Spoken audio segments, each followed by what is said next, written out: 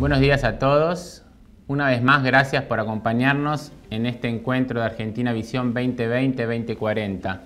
Este espacio que nos convoca año a año para regalarnos medio día de reflexión y a su vez ayudar a Bisblick Talento Joven. Este año, bajo el lema Liderando el Agro 5.0, Biotech, Agitech, Innovación, Bioenergía, Entrepreneurship, como habrán visto, esta semana estaremos de martes a viernes con un formato distinto. De 8 y media a 9 tendremos la alfombra verde y de 9 a 10 nos acompañarán excelentes oradores en distintos paneles día a día. Tengo el honor y la responsabilidad de abrir cada año este encuentro. Y este, el octavo, es bien importante porque si se acordarán allá por el 2013 hablábamos de Argentina Visión 2020 en medio de una crisis, con una múltiple mirada esperanzadora, una mirada a siete años y todo lo que se puede construir en ese tiempo. Podría hoy profundizar de innovación, de Digitech, de cómo impactarán las nuevas tecnologías, pero la verdad tenemos excelentes eh, panelistas que lo harán mucho mejor que yo.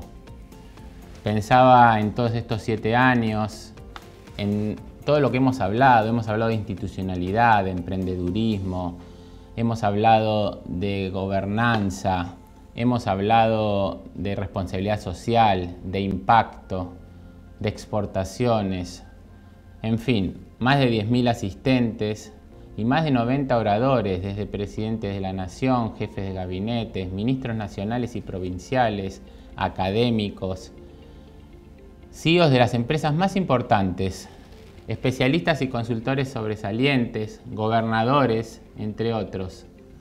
¿Y cómo estamos hoy? ¿Estamos mejor o peor que en el 2013? ¿Sentimos que el país está más integrado al mundo? A nivel pobreza, ¿tenemos más o menos pobres?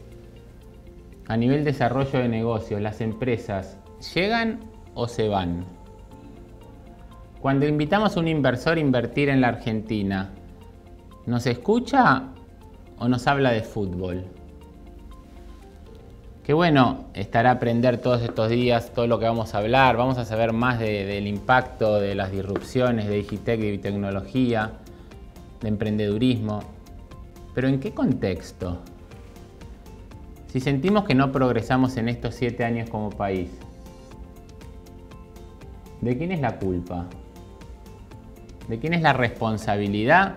Sino de todos los que de alguna manera, como líderes, participamos todos estos años en este espacio de reflexión. Evidentemente no lo hemos hecho tan bien, ¿no? ¿Qué pasaría si estuviésemos en una empresa? Y tal vez nos echarían. Y si fuésemos un profesor, los alumnos no elegirían nuestra materia. ¿Qué pasaría con nuestros votantes si fuésemos políticos? ¿Nos votarían? Entonces, ¿cuál es el problema? Pareciera ser que no es un problema técnico. ¿Cuántos papers, cuántos talentos, cuántas fundaciones con planes dignos de casos de Harvard? Estamos ante un problema más grave y más profundo, un problema adaptativo, social, donde la solución es mucho más compleja y no está estandarizada. Nos cansamos de ver décadas de volantazos de izquierda a derecha, de derecha a izquierda, discusiones sin sentido, donde cada actor busca el beneficio para su sector, para su tribu, olvidándose del bien común. ¿Quién podría criticar al sector empresario por defender su clúster? ¿O a un sindicalista que defiende a capa y espada a sus obreros? ¿O a un tercer sector o una organización social que pide más y más para sus seguidores.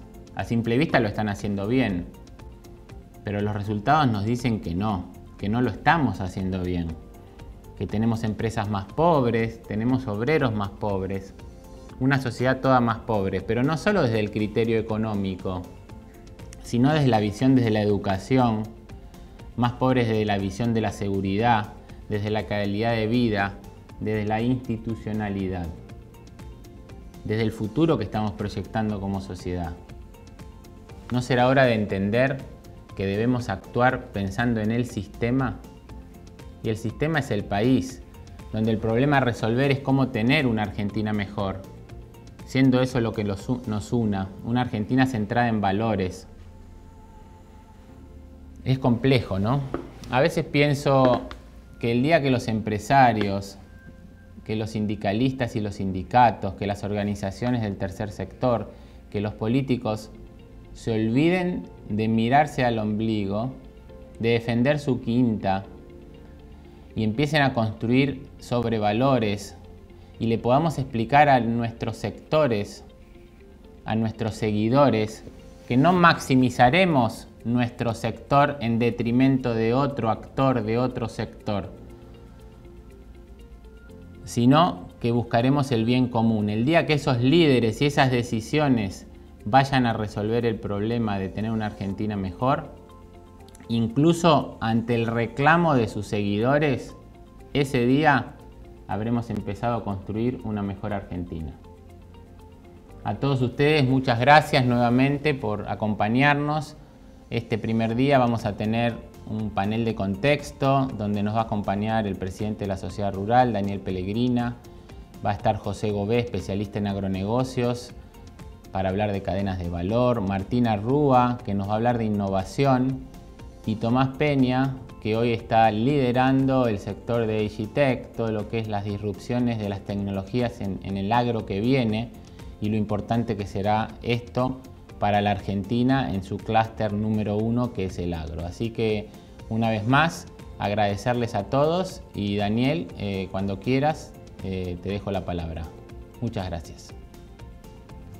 Bueno, eh, de verdad un agradecimiento enorme a José por esta invitación a este, a este panel y a toda la labor que hace a través de Aplic y Bisblick, verdaderamente todo un emprendimiento realmente que hace falta para la Argentina y bueno, valoramos mucho, así que desde ya, eh, José, muchas gracias por, invitarme a este panel y, desafiarme a, dar algunas ideas del contexto en el cual nos estamos manejando y tratar de hacer alguna mirada en ese, sentido. ¿no? Y, bueno, quizás son más cuestiones y, preguntas las que, las que traigo que las, respuestas, pero, pero por lo menos vamos a tratar de centrarnos en, esta visión. ¿no? Y bueno, tenemos, eh, producto de esta, de esta grave crisis que sufre el mundo de, la pandemia, por este coronavirus eh, que, se ha sido tan famoso. Un mundo, un mundo complicado, un mundo cuyos gobiernos eh, de alguna manera a veces se han manifestado perdidos, eh, gobiernos que también se están desconcertados, los mismos que las sociedades del mundo, ¿no? y, ahí también se ve la falta de, un mundo de, de líderes fuertes, ¿no? quizá, digamos, hay líderes, eh, pero no de la, de, la, categoría que nosotros buscamos, de los líderes pedagógicos, sino son líderes más demagógicos, fuertes, y, vemos digamos, este, en Estados Unidos, en Rusia, este, en los países de la región latinoamericana también, algunos, algunos ejemplos, pero no estos liderazgos constructivos este, y, pedagógicos que son los que me parece que construyen verdaderamente en el mundo. Entonces, vemos sociedades a veces medias, medias perdidas. ¿no?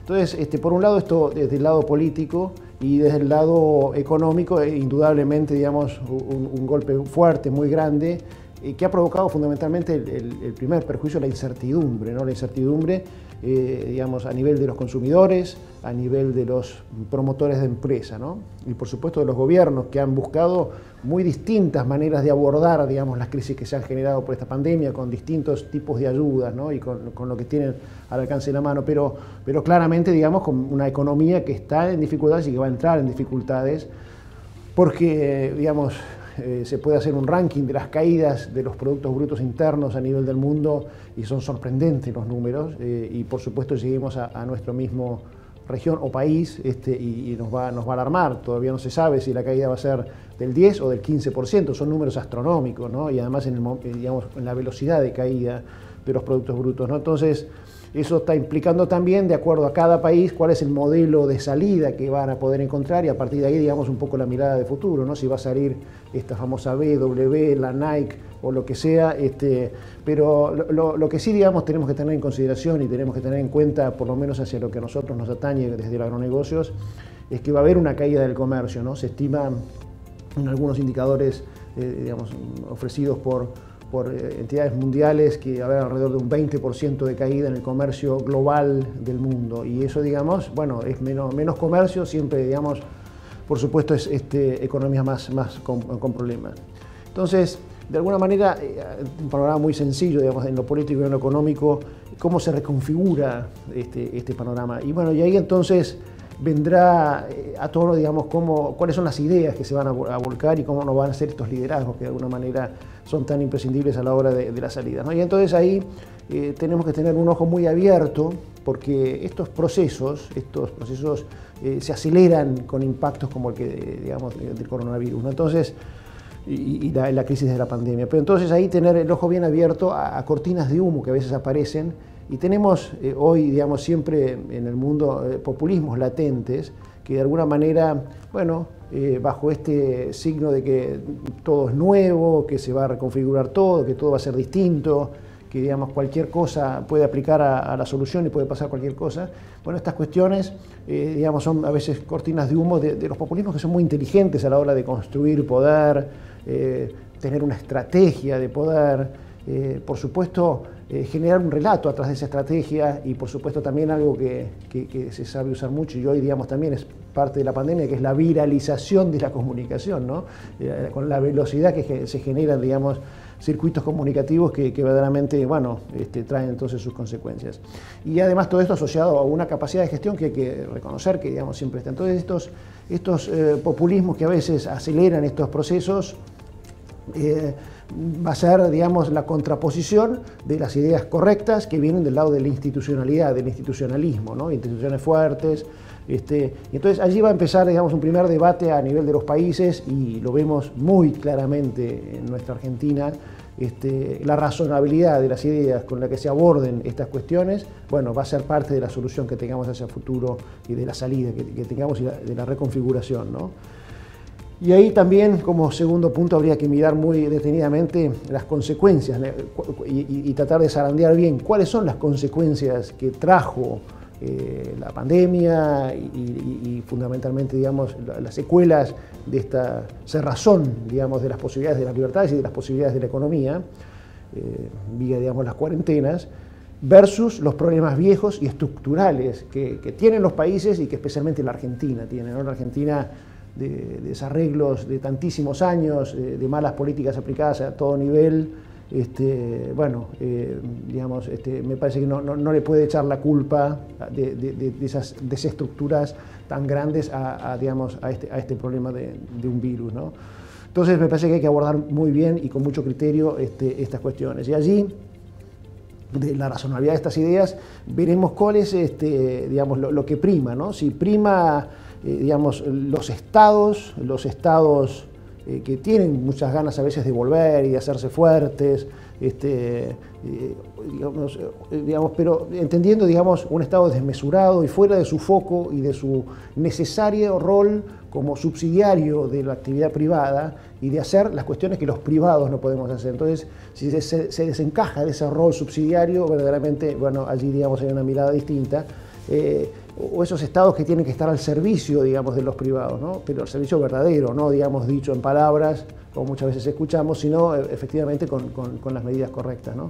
Entonces, si va a estar el Estado por, encima de esto o van a estar los privados y la actividad privada como motor de la economía. ¿no? Y eso, ese, ese, debate, digamos, de razonabilidad de ideas es la que va, de alguna manera, también a generar, a marcar este, el, rumbo, el rumbo futuro tan necesario. ¿no? Y entonces, allí volver, si es que vamos a ir por el lado de la, economía sustentada sobre la base de la actividad privada, eh, la empresa, eh, digamos, y creer en esa capacidad de lo privado y de la empresa como generadora de oportunidades, como generadora de riqueza. Y a partir de ahí entonces, eh, bueno, sustentar este, la reconfiguración justamente del sector empresario en el sentido de darle oportunidades de crecer, porque verdaderamente si ahí eh, tenemos un problema en Argentina es este, ¿no? Eh, he estado mirando algunas estadísticas que indicaban que, por ejemplo, a nivel de la región latinoamericana, no hablemos, digamos, del mundo digamos, más desarrollado, sino de, nuestros colegas de, las vías de desarrollo como Latinoamérica, tenemos que hay alrededor de, 40, 45 empresas cada mil habitantes como un índice, Eh, pongamos un ejemplo, digamos que a veces se refleja mucho, que es el país de Chile. ¿no? Chile tiene 58 eh, empresas cada mil habitantes, pero Argentina tiene solamente 14 empresas cada mil habitantes. Entonces, digamos, si no creemos en la empresa como motorizador del trabajo, como motorizador del bienestar y como generador de las oportunidades, digamos, para este modelo de desarrollo que de alguna manera necesita la empresa como base, y bueno, verdaderamente entonces este, bueno, va a ser difícil. Entonces ahí vendrá una señal muy fuerte y esa señal tiene que venir con justamente la generación de un ambiente propicio eh, de negocios para que las empresas puedan prosperar, porque la única manera de, generar empresa es con inversión y, la inversión este, siempre lo digo, es, hija de la confianza. Si no tenemos confianza en, digamos, en el marco en el cual tenemos que generar las inversiones, bueno, no habrá empresa y no habrá entonces trabajo, no habrá digamos, bienestar, no habrá desarrollo. La inversión, eh, que efectivamente es un número que tenemos que mirar muy detenidamente en Argentina. Eh, Argentina tiene un nivel de inversión aproximadamente actual del 12% referido al PBI eh, como, como, inversión bruta. Verdaderamente eso no alcanza ni a pagar las amortizaciones de la propia inversión. Así que imaginemos a dónde tenemos que ir a niveles, digamos, este, promedios que más que duplican esta necesidad de, inversión respecto al PBI. Entonces, Obviamente tenemos que poner mucho foco en la inversión. Entonces, desde lo que es el sector privado agroalimentario, eh, bueno, eh, vemos que también esta, esta eh, pandemia, digamos, trae sus, cuestiones, ¿no? Es decir, los, roles fundamentales que tenemos desde lo que es el agroalimento, de mantener provistos, este, digamos, a la mesa de los argentinos, pero del mundo también, como es la Argentina como proveedora de alimentos al mundo, uno de los, de los roles. El otro, por supuesto, que siempre se ha privilegiado y se ha trabajado mucho, y gracias a Dios se ha podido, digamos, el agro argentino, el agroalimento argentino ha podido seguir funcionando durante esta cuarentena bastante normalmente, y eso es el resguardo de nuestra principal capital, que es el resguardo de, nuestras propias vidas, pero también de todos los que colaboran y colaboramos, digamos, este, en la generación de, cada uno de los capítulos este, de la cadena agroalimentaria. Así que el resguardo de la gente y de ese capital.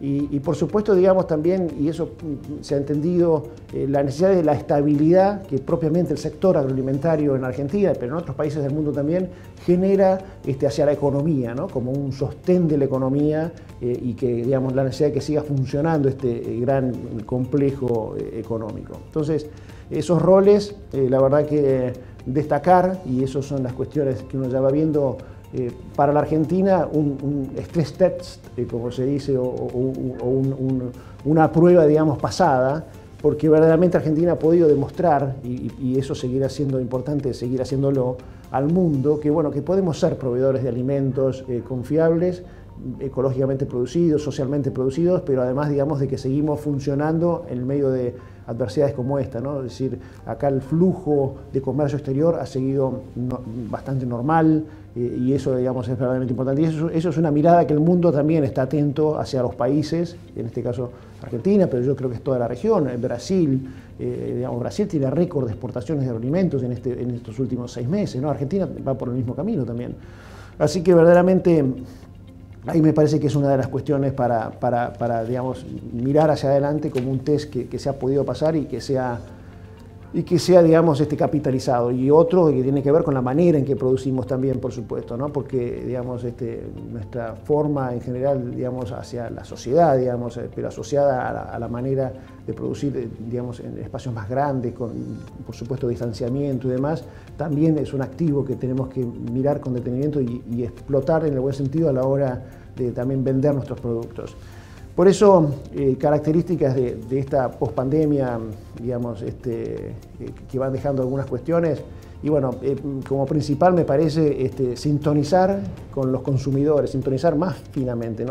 Nosotros siempre sostenemos que efectivamente tenemos que pensar todas nuestras empresas y nuestra cadena de producción sobre la base de la mirada de los, de los consumidores. Eso es un discurso clásico, pero hoy se ve reforzado, se ve reforzado fuerte, ¿no? porque digamos, los canales han sido muy, muy, los canales de comercialización de los productos ha sido algo que se ha afectado mucho, todo lo que es fast food, todo lo que es, digamos, delibes y, cuestiones, digamos, ha traído consecuencias graves a nivel de muchísimos países que han tenido que tirar productos. Recuerden Estados Unidos que ha tirado más de mil camiones de leche porque no tenían el canal para poder este, digamos, este, ubicar eso que era digamos, los fast food. Eh, o, como les ha pasado también, digamos, de que al tener tan sistematizadas las fábricas, y esto digamos también va a otro punto que tiene que con la simplificación de las cadenas de valor, tan sofisticadas las fábricas, bueno, al no tener gente no podían operar esas fábricas y, digamos, este, y se paralizaba digamos, una actividad. ¿no? Así que realmente eso creo que va a reconfigurar parte de nuestras empresas. Eh, con mirada al consumidor, pero fundamentalmente hacia buscar esa fidelización tan necesaria que tenemos que, lograr este, con, quienes consumen digamos, lo que nosotros producimos, fundamentalmente de la mano de, todo esto, de, mostrarnos este, amigables con, todo lo que hacemos. Entonces, Así también otra de las cuestiones que me parece que tenemos que tener como, como digamos, este, como mirada es eh, bueno, la regionalización también de los sistemas de producción y de los sistemas digamos, globales de comercio. ¿no? Y hay una mirada muy cercana también a, nuestra Latinoamérica, es tan querida, ¿no? es decir, eh, principalmente el Mercosur, donde tenemos una oportunidad muy grande, eh, no solo digamos, porque se amplía nuestro mercado interno, sino también porque nos genera unas oportunidades extraordinarias digamos, como, como gran bloque productor de alimentos hacia el mundo. Recordemos que Brasil es el primer eh, exportador neto de alimentos del mundo y Argentina es el segundo. Entonces, verdaderamente, eso es, eso es realmente formidable. Eh, entonces, y haber, pasado este test, como dije antes, eh, nos posiciona mejor todavía. Entonces, allí tenemos una, una, oportunidad hacia una Latinoamérica que, digamos, también tiene sus necesidades y también tiene, digamos, sinergias positivas, probables y posibles con, con, con el Sur. Y esto de sintonizar tiene que ver mucho con acercarnos acercarnos mucho a, los consumidores y transmitir, eh, bueno, transmitir primero lo que somos, eh, lo que somos, eh, lo que hacemos, pero fundamentalmente dónde y cómo lo hacemos, que eso digamos es una materia pendiente, digamos, especialmente en nuestro país, y ahí me parece que tenemos mucho por, por crecer y esto va a ser, digamos, como una característica necesaria post, post pandemia, ¿no? Este, y después el segundo gran capítulo me parece que podemos tomar así este, de esta cuestión, tiene que ver con la digitalización. ¿no? Este, se va a hablar mucho en, este, en, este, en estos días eh, de, esta, cuestión, pero son desafíos enormes de todo punto de vista, ¿no? de la adopción de nuevas tecnologías, por supuesto entendiendo que, que, la tecnología va a ser quien aporte el mayor digamos, crecimiento de volumen de nuestras producciones, va a venir explicado por la tecnología. Entonces, no, no, por los recursos naturales, sino por la tecnología fundamentalmente. Entonces, allí tenemos una enorme cantidad de cuestiones disponibles en identificación, eh, en seguros, ya hay que trabajar enormemente en seguros parametrizados, de precios, eh, seguros climáticos, ni que hablar de lo que es el comercio electrónico y el, digamos, y el pago electrónico con verdaderamente oportunidades enormes, la manera de funcionar, digamos, hasta institucionalmente todo lo que viene de la mano del blockchain, big data, internet de las cosas, robótica, sensores, bueno, van a ser cuestiones que van a estar eh, Actech, eh, realmente nosotros estamos muy involucrados en este proceso porque realmente que, nos entusiasma ver todo lo que tenemos por delante en ese, sentido, especialmente además de la mano de los jóvenes, ¿no? que es un gran capital que tiene especialmente nuestra región, de tener digamos, agricultores y, activamente jóvenes en, la actividad empresaria. Entonces, Allí, digamos, todos estos desafíos que, por supuesto, de la mano del marketing y del comercio este, van, a venir creciendo. Entonces, eh, con estas, digamos, sencillas dos características, eh, sintonizar con los consumidores y aprovechar todo lo que nos da la tecnología, especialmente la mano de la digitalización, bueno, tener una, mirada de, salida de, todo este proceso este, con, con, dos características, me parece que son eh, digamos, bien importantes. ¿no? La, esperanza por un lado y, mucho trabajo por otro. ¿no? La esperanza justamente sustentada en que tenemos digamos, eh, enorme cantidad, capacidad de recursos humanos fundamentalmente, recursos naturales que son muy valiosos también a la hora de poder eh, digamos, procesar, trabajar digamos, y, crear digamos, toda la, riqueza que se puede hacer desde los negocios, pero además eh, de una manera formidable, digamos, en, amistad con el medio ambiente y, verdaderamente hay todo un desafío enorme ahí este, también de trabajo, ¿no? este, orientado a poder posicionarnos muy bien respecto a nuestros consumidores, como dije antes. Pero además entender y sentirnos muy orgullosos de que digamos, el agroalimento eh, digamos, es una solución para el mundo, una solución necesaria para el mundo. ¿no? Eso siempre decimos, un mundo que nos desafía con 9 mil millones de habitantes dentro de poco tiempo pero, y que necesita digamos, un crecimiento de la producción de alimentos muy fuerte, del 40-50% según FAO. Este, bueno, eh, estamos en capacidad, por eso digamos, la, bendición de este Mercosur fuerte, digamos, este, como, capacidad. Ese mundo que también digamos, tiene sus dificultades, ¿no? donde todavía tenemos más de 850 millones de, gente que está subsumida en la pobreza y que especialmente toda esta crisis económica bueno, va, a generar más. ¿no? Tenemos 140 eh, millones de habitantes todavía que todas las noches se van a comer con hambre, se van a dormir perdón, con, con hambre, digamos, a, sus lugares de origen ¿no? en el mundo. Eh, y ese, y ese, ese flagelo que se va lamentablemente a duplicar probablemente con, con este problema del coronavirus. Este, entonces, verdaderamente ahí hay mucho de trabajo que tienen que hacer los, los, los, gobiernos y por eso viene el segundo capítulo del trabajo. ¿no? Y ahí eh, insistir en las ideas correctas a nivel de las naciones y a nivel de los privados, ¿no? las ideas correctas que, que, que tienen que ver con, con la cooperación, la cooperación este, tan imprescindible, digamos, este, a la hora de abordar estos procesos mundiales, eh, digamos, eh, quizá digamos, eh, arrancó muy bien esto en, lo que fue la cooperación hacia la salud, mirada hacia la salud, digamos, hacia la generación de la vacuna, ¿no? Sorprende y, creo que los beneficios están en la, rapidez con la que se está obteniendo resultados, cómo hay colaboración, digamos, de distintas fuentes científicas del mundo. Bueno, la, cooperación, la colaboración tiene que ser parte de, la solución, digamos, de, estas, de estas ideas correctas, ¿no? Porque vamos a tener también a nivel de los gobiernos eh, muchas dudas respecto al sistema comercial y seguramente allí vengan vemos esa polarización del multilateralismo versus el, digamos, bilateralismo en el comercio eh, muy fuerte, ¿no? y todos estos eh, arreglos y desarreglos que hacen dos grandes potencias como Chile y, y, los Estados Unidos, que influyen tanto en los mercados y nos influyen tanto a nosotros. Eh, bueno, recuperar ese multilateralismo realmente va a ser también todo un desafío, si es que es posible, o reconstruirlo, ¿no?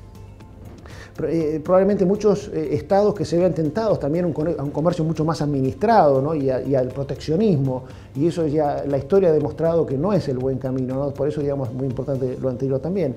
Y además muchos países que en este momento, y justamente por eso este, este, este test que hemos pasado adelante como proveedores de alimentos es tan importante, porque muchos países que van a querer volver a, digamos, a, viejas eh, intentos de autosuficiencia alimentaria, ¿no? con los, perjuicios que ya hemos visto de, digamos, este, de subsidios crecientes, de volúmenes que después no se pueden administrar y de perjuicios para todo el mundo finalmente, ¿no? que afectan al comercio mundial.